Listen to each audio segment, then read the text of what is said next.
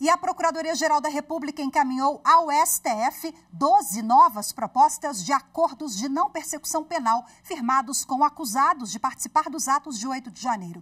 As petições devem ser apreciadas pelo relator das ações, ministro Alexandre de Moraes.